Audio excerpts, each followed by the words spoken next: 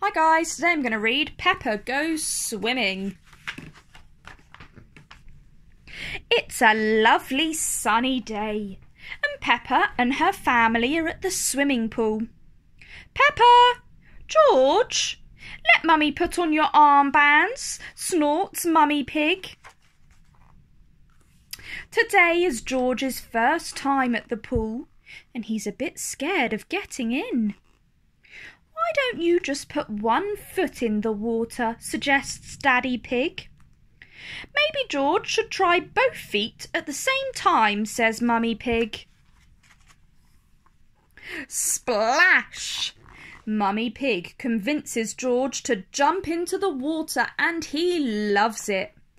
Grunt, hee hee, snort, shouts George happily. Ho ho! Well done, George, snorts Daddy Pig. Here is Rebecca Rabbit with her brother Richard and their mummy. Hello, everyone, cries Rebecca. Squeak, squeak, says Richard. Richard, hold on to this float and you can practice kicking your legs, says Mummy Rabbit.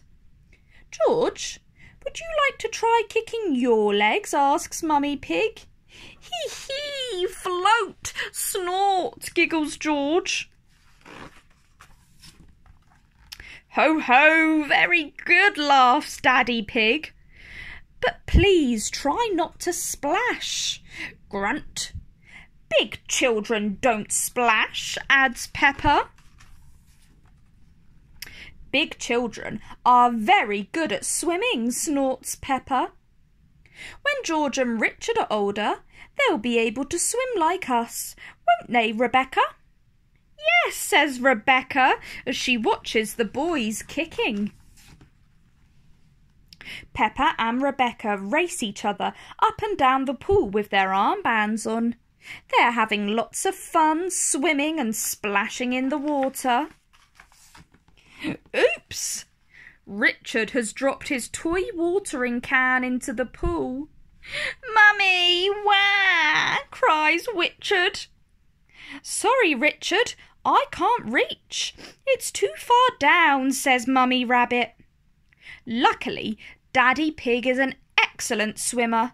He takes off his glasses and dives down to get it. Ho ho, there you go, snorts Daddy Pig. Squeak, squeak, says Richard. Well done, Daddy, smiles Mummy Pig. Oh dear. Now Richard is soaking Daddy Pig with the watering can. What a naughty rabbit. George thinks it's hilarious. Everyone has had a wonderful day at the pool. The end. If you enjoyed that story, like down below and subscribe to my channel for more.